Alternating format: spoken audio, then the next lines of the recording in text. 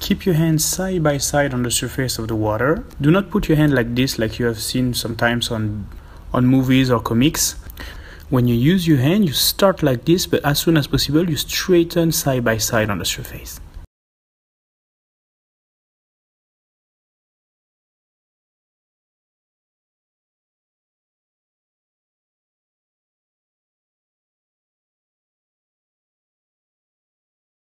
Two, one, vamos, kick.